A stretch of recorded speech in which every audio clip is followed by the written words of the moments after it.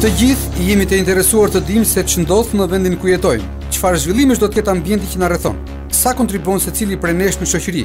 Si do të jetë e ardhmja e fëmijëve tanë? A bëhemi ne pjesë e debatit për zhvillim në fushën ku ndihemi të aftë dhe jemi investuar? Çfarë shembulli u japim brezave të rinj dhe sa i motivojmë ata me sjelljen dhe modelin që ofrojmë? Emigrantët, janë ftohur si pasojë e integrimit në vendet ku jetojnë, Apo i kemi larguar ne me sjelljen tonë. Pra, gjendemi në një udhëkryq.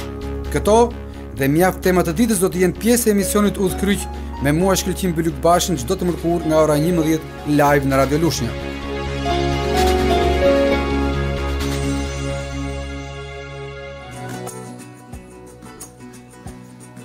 Mirëdita të nderuar dëgjues të Radio Lushnjës dhe ju ndjekës të rrjeteve sociale në Facebook.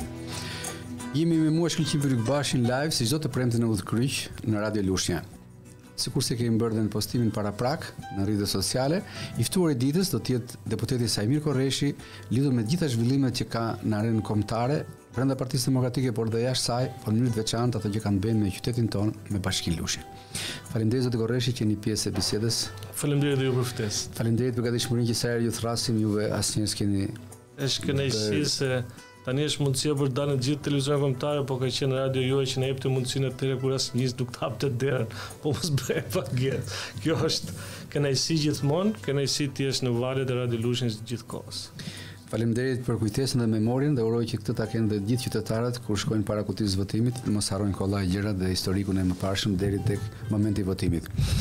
E zoti Korreshi, do ta nisim me një lajm që si duket edhe për shkak të rëndësisë së situatës, por dhe për shkak të dëshirës që një pjesë e madhe e demokratëve e kanë në brendësi të tyre është takimi që keni bërë para dy ditësh Ku natyrisht informacioni nga ky grupim nuk është se kanë shumë njerëz dijeni, por ky është fati ynë që kemi deputetin tonë me të cilin mund të ndajmë ato pjesë që duhet ndarë me dëgjuesit dhe në mënyrë të veçantë me demokratët.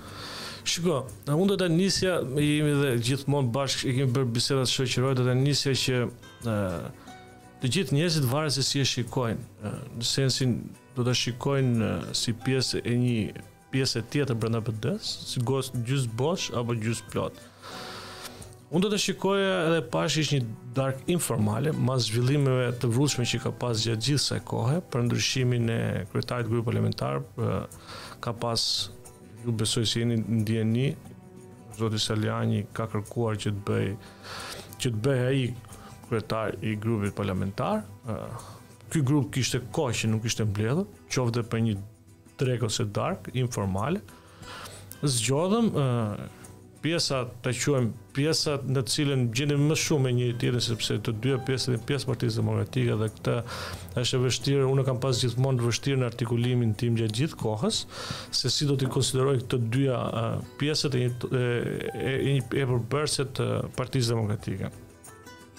Pavarësisht se ka ka shumicën në Partinë Demokratike, unë mendoj që shumica nuk është absolute dhe bëhet absolute vetëm me pjesëmarrjen jo vetëm të gjithë deputetëve, por gjithë demokratëve që mendojnë ose s'mendojnë ndryshe nga një grupim i caktuar se edhe po të kalojnë deputetët 20 deputetët është e rëndësishme të pyeten të gjithë ata demokratët që nuk e kam nuk janë pajtuar ose nuk kanë qenë dakord me nismën që ka marrë zoti Berisha për foltoren apo për rithemelimin. Është çështje këndvështrimesh e çëndë objektive që disa kanë bërë zgjedhjet e tyre. Pastaj se kush ka shumicën, kjo është një gjë tjetër, por Partia Demokratike ka ardhur gjithmonë me vështirësi kur ka ardhur në pushtet për të qenë realistë. Dhe është bërë përtej për të fituar ne duhet të kalojmë përtej PD-së. Pra PD duhet të jetë unike, duhet të ketë seriozisht të dyja ose të gjithë aktorët dhe faktorët e Lushnjës, ata që kanë në mënyrë direkte apo indirekte janë kanë qenë pjesë ose kanë përfituar përfitim jo në sensin negativ por edhe në sensin pozitiv pra shiko politika të bën dikush nuk mund të jesh dikush Saimiri ai që ka qenë student apo futbollist me Lushnjën te moshat dhe Saimiri që është deputet pra do ndryshon në arenën kombëtare dhe lokale. Pra të krijon një vend një background. Kështu që kjo është patjetër i dedikohet pjesëmarrjes time në Partinë Demokratike. Nëse unë sot jam deputet apo nëse unë sot emri im lakohet edhe nëpër televizionet siç e thatë ju, por çfarë ndodh?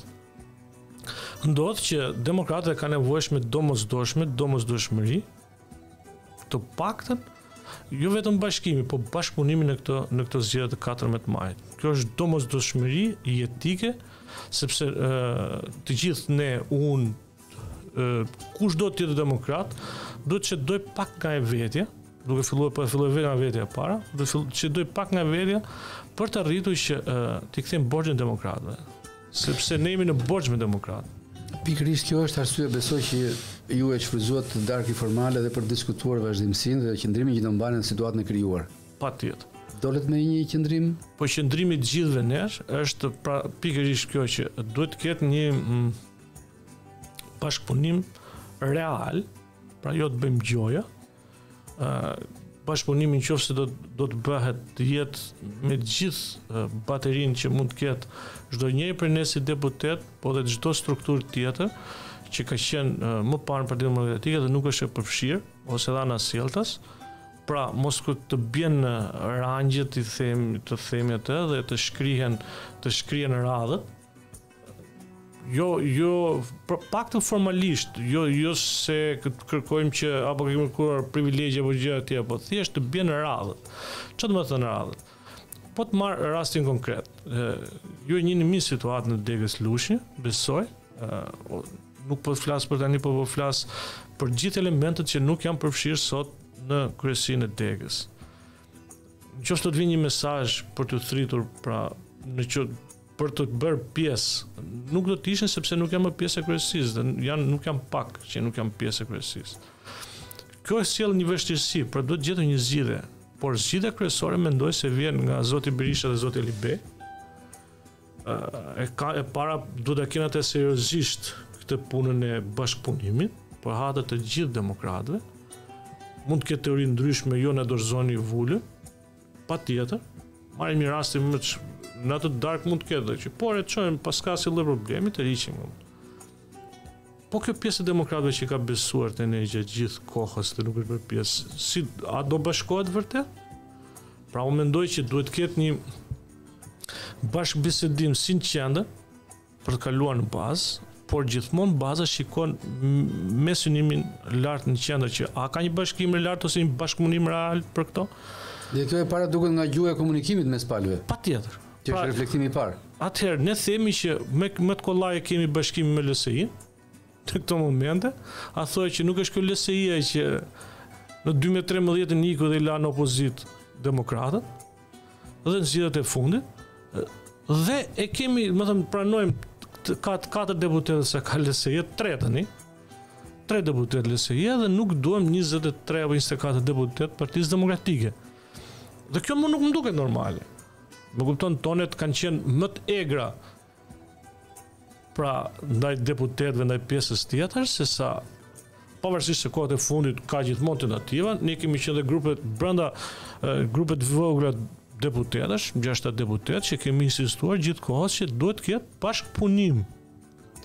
Por dhe ky grupi parlamentar tjetër duhet të ketë një performancë se ndryshe një performancë të fortë opozitare, pavarësisht se ne nuk kemi pas forcën dhe gjuhën e televizionit, reklamën e madhe që të jep mundësinë që të jep televizion. Hapësirat mediatike janë mediatike, të domosdoshme. Mediatike, ku zoti Bardhi, zoti Alibeaj, ti e me radhë, Tabaku që janë të themi ata te partia vjetër që janë drejtuës të qymë, nuk kanë, nuk kanë bërë atë performancën në dalje televizive, Pse? Sepse në në këtë politikë është e gjitha një reklamë, një mënyrë se si e shet.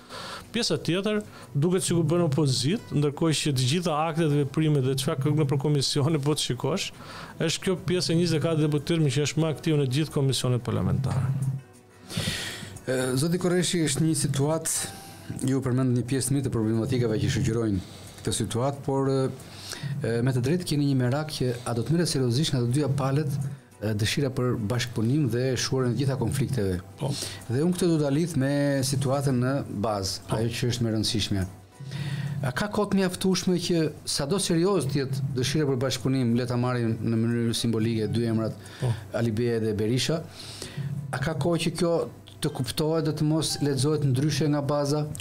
Pra, nëse do të ketë një bashkëpunim serioz dhe ta themi të bijem në një deputetët e kuptojnë që pa një bashkëpunim nuk ka pushtet në nivel vendor. E në në proceset në vazhdim sigurisht kjo zbeh rolet e figurave, që kanë dështuar në zgjedhjet e 14 majit. Mendoni se ka një zgjidhje që bateritë të mund të karikojnë dhe bazën pavarësisht mendimeve dhe qëndrimeve që kanë aktualisht? Uh, do ta lidh me 6 marsin. Lushja për fatin e keq, ishte pjesë e atij 6 marsi uh, në të cilën e dëmtoi shumë degën. Me thënë të drejtën. Ishte në qoftë se të tjerët akoma nuk e kanë idenë se ça do të thotë luftë mes demokratësh, janë gjashtë bashki përfshirë dhe Lushnjën e provuan në kurrizin tonë. Ça do të thotë? A ka lënë shije të hidhur patjetër shumë. Të dy, të dy kandidatët, si Elton Bano, si Endrit Sefa, janë djemtë më të mirë që mund të prodhonte Partia Demokratike, Edhe po të kishin kandiduar secili prej tyre tek e tek, pra në mënyrë që të kishin mbështetjen absolute të gjithë Partisë Demokratike, mund të kishin fituar, jo mund po, kishin probabilitetin absolut për të fituar përballë çfarëdo lloj kundërshtari në Lushnjë.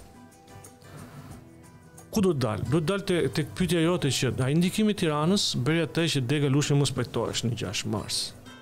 Ne mund të ishim kishim dëshirë të merrim dhe vendime drastike, por atëherë ishte më e egër ideja të tregonin se kush kishte më shumë forcën, Berisha apo Basha. Ishte moment. Kjo përplasje ia bëri më të lehtë pushtetit. Po patjetër që po dhe pavarësisht se ne patëm logjikën që ta kuptonim një gjë të tillë, ndikimi i fortë i Tiranës në ato momente bëri atë që Dega Lushnje të dilte e përçarë në zgjedhje. Edhe që të morëm atë rezultat që morëm në krahasim me kundërshtarin. Pra, kush është dëmi demokratët? Absolutisht. Jemi... Dhe në këtë rast do të do të doja që shiko, po të shikosh pse ata zihen më keq se ne, janë më keq se ne, si në qendër si këtu, këtë pa më të voglin dyshim, vetëm se ka një gjë. Ata për atë thonë zihemi dhe nxjerrim thikat me njëri tjetrin, Kur mbasi të kemi bërë fitoren, dhe këtë bëjnë, edhe pse ata shahen me njëri-tjetrin, ne e dimë se kemi përditshmëri jetojmë këtu në këtë qytet, ata t'i shikosh sot me njëri-tjetrin, gjysma e tyre nuk flasin, si nga deputetët, si nga drejtuesit brenda strukturave të Partisë Socialiste, por kur, por kur vjen puna, por kur vjen puna vihen në rresht, kurse ne demokratët zihemi përpara se ta marrim këtë, pra, edhe e kanë dëmin demokratët, unë mendoj dhe gjykoj që të gjithë një nga ne, Duhet të kemi logjikën e ftohtë për të qenë pjesë, për t'u bërë pjesë e demokratëve për hatër të tyre, se nuk na kanë borxh këtë nëntëvjeçar. E zoti Korreshi do të ndërpres për pak publicitet dhe dua mendimin tuaj personal si mund ta zgjidhim këtë situatë në bashkinë Lushnjë dhe pse jo të kthehet në një model për gjithë Shqipërinë. Kalojmë në publicitet dhe rikthehemi sërish live me Saimir Korreshin, deputet i Partisë Demokratike për Bashkinë Lushnjë.